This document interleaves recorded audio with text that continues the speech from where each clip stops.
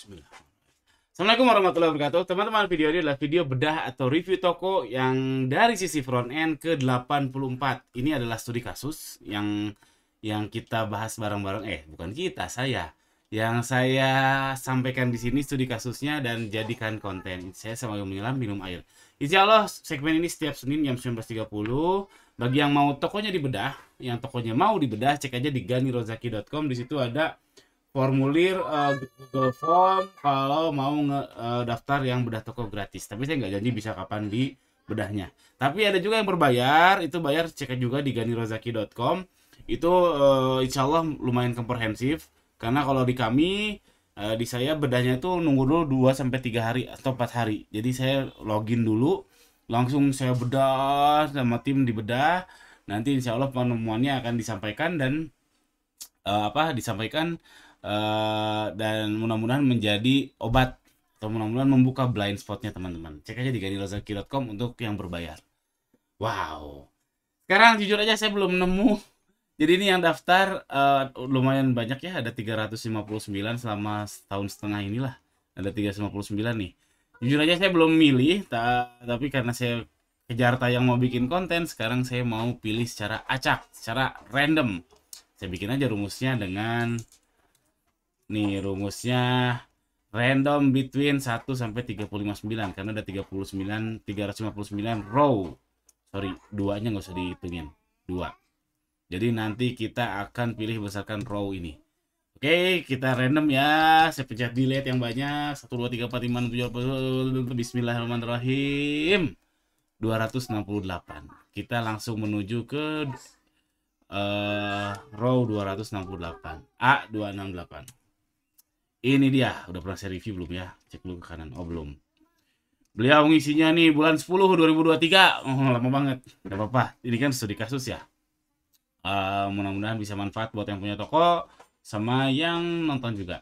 Mudah-mudahan. Kita lihat langsung tokonya. Nih tokonya namanya apa nih? Namanya Cakra se eh Cakra Aluna Batik. Oh jualan batik. Loh, loh, loh, kok nggak ada?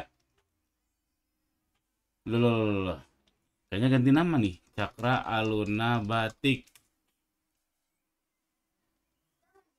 Cari toko-toko. Oh, nggak ada. Waduh. Jangan-jangan ganti nama toko. Masalahnya apa nih?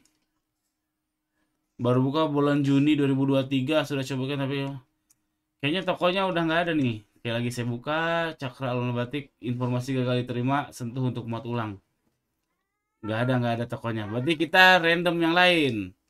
Waduh kenapa nih? Sepertinya sih ganti nama. Kalau dihapus kayaknya jarang banget orang hapus akun ya. Kita random lagi. 1 2 3 4 5 6 7 8 9 10 bismillahirrahmanirrahim. Oh nomor 10 kelamaan. Nggak jadi. Kalau nomor 10 mungkin tahun awal tahun 2023 mungkin udah nggak relevan orangnya juga. Mungkin udah udah kayak gimana. Kita yang di atas 200 deh. Bismillahirrahmanirrahim atas 200 di atas, nah ini 210 kita ke 210 nih dia ngisi tanggal wah bulan 1 2023 berarti tahun lalu nih tahun lalu oh, mudah-mudahan masih relevan namanya Zolaris Official. Kita lihat si Shopee-nya. Kita lihat Shopee-nya sama saya pengen lihat Instagramnya Zolaris official jualannya apa nih?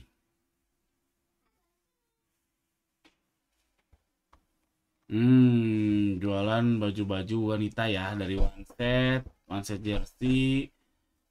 Kayak pernah udah di review ya, hijab olahraga oke okay, untuk wanita ya. Ya Instagramnya nggak ada, page is not available. Instagramnya Zolaris. Optik Zolaris, Zolaris official. Nah ini dia. Instagramnya Bella One Set 12 Februari. Nggak keurus ya nggak apa-apa. Kita cari TikToknya dulu. Biasanya TikToknya.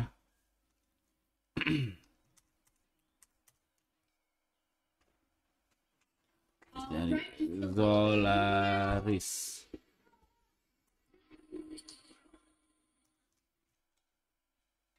Nah, oh lagi nge-live. Oh, TikToknya lebih lebih bagus ya daripada Instagramnya ya. Lagi nge-live. Terus 11.000 followers. Kita lihat ya live-nya.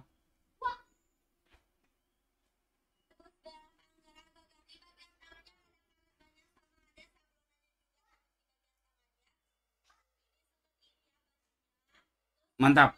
Ini lagi live. Sip, sekarang kita lihat komentarnya seperti apa. Komentarnya. Sudah melakukan berbagai cara promosi dan mengikuti saran akun YouTube Gani Rozaki terutama perkembangan toko Deep Hood.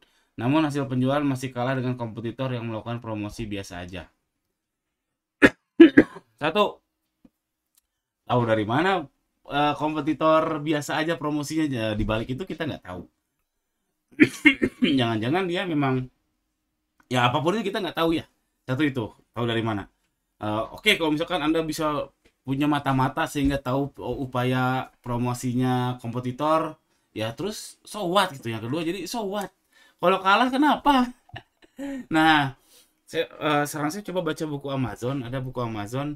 Mereka mengklaim beberapa ada banyak lah buku tentang Amazon. Saya ba udah baca tiga atau empat.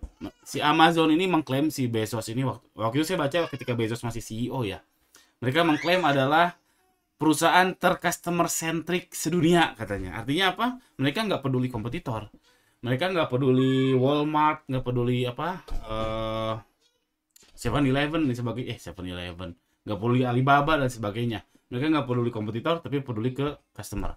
Cuman saya agak agak agak mengkritisi itu karena kan Amazon tuh di atas yang ngapain lihat kompetitor dia sudah di atas jadi ya fokus ke customer nah kalau di bawah atau di tengah yang ada kompetitornya uh, saran saya jangan fokus lihat kompetitor. Saya pun sekarang mantau, mantau aja bukan aduh kesel nih kok gua bisa kalah ya. Nggak gitu tapi sih mantau aja dia launching apa sih. Oh dia kayak gini kayak gini bagus nggak ya diterapkan? Kalau dia orderannya tinggi ya bagus good for him, good for him ya bagus buat dia. Kalau orderan dia rendah ya mohon ma ya bukan rasa lu nggak gitu juga ya terserah aja. Kompetitor ya kompetitor orderan mereka. Nah kenapa? Karena kalau kita jadinya ngiri saya juga mengalami itu beberapa tahun lalu dan alhamdulillah sekarang sudah sembuh. Melihat memang ada kompetitor uh, saya juga sama merasakan hal yang sama. Ini perasaan dia nggak ngiklan deh. Kayaknya dia nggak ngiklan tapi kok paketnya luar biasa banyak. Karena saya lihat langsung lihat langsung si kurirnya bawanya banyak karena dekat uh, dengan kantor. Terus memang ulasannya juga banyak dan sebagainya. Itu capek capek jadinya di, kita ngiri jadinya hasad jadinya nggak produktif. Jadi jangan lihat kompetitor jadi penjualan jangan lihat kompetitor, fokus aja ke diri sendiri. Fokusnya gimana? Jadi kalau nggak lihat kompetitor, terus lihat siapa dong? Jangan lihat kompetitor ya. Kok enggak? Jangan. Saran saya jangan karena jadinya nggak produktif dan lebih parah lagi kalau kita jadinya hasad, iri, dengki, bahaya. Lihat ke apa? Lihat ke data sendiri aja. Data sendiri, benchmarking ke data sendiri. Jadi kalau Anda mau berkembang, lihat kalau saya biasanya time frame-nya mingguan mingguan. Jadi dilihat minggu lalu kayak gimana. Minggu lalu penjualan berapa? Kalau konsep sederhananya kan hari ini harus lebih baik daripada kemarin. Berarti minggu ini harus lebih baik daripada minggu lalu. Jadi kalau turun kenapa, kalau naik kenapa, terus saya uh, alhamdulillah uh, rutin melakukan hal itu, mengasah saya uh, sense saya ketika naik harus gimana, kita turun harus gimana dan terus terus terus terus harapannya kita jadi berkembang sendiri melihat ke data kita sendiri ini untuk penjualan ya tapi kalau untuk R&D untuk apa ya lihat kompetitor ya bagus. Bagus karena kita jadi tahu lah yang lagi tren apa yang lagi bagus apa dan memberikan ide-ide yang yang fresh lah untuk toko kita. Tapi kalau lihat penjualan saran saya lihat aja ke data sendiri.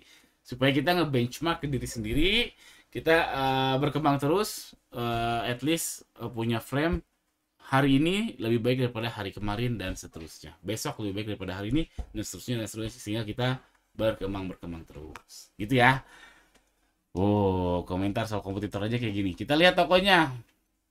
Saya lihat ya lumayan jadi laris ya, bagus kok. Um, tapi tapi karena ini saya ngeceknya tak sekarang dia komen ngisi Google Formnya tahun lalu beliau ini ini bagus kok. Terus segmentasinya berarti ke perempuan yang mau olahraga ya Nih terlaris ini 1000 plus terjual lagi. Wow keren. Saya aja sekarang nggak punya produk yang 1000 plus terjual. Keren keren keren.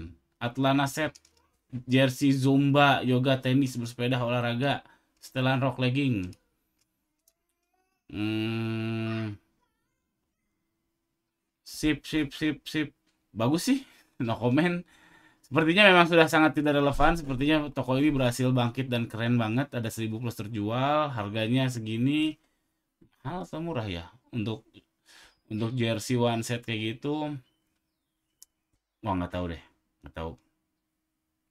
Soalnya ini nggak tahu udah sama leggingnya atau belum. Kayaknya terlalu murah deh marginnya, kayaknya terlalu tipis deh. Kayaknya ya, kayaknya tapi nggak tahu. Terus uh, ya udah uh, berarti sepertinya sih sudah bisa mengungguli kompetitornya. Tapi tetap mindsetnya jangan jangan terlalu kompetitor sentris, jangan terlalu ngiri, jangan terlalu dengki pada kompetitor, fokus ke data diri sendiri aja. Itu aja teman-teman, jangan lupa subscribe. Mudah-mudahan ada manfaatnya video ini. Jangan lupa subscribe. Ya, insya Allah setiap Senin uh, kita akan studi kasus bareng kayak gini. Dan yang mau dibedah cek aja di ganirozaki.com yang uh, gratis dan yang berbayar. Oke, okay, assalamualaikum warahmatullahi wabarakatuh.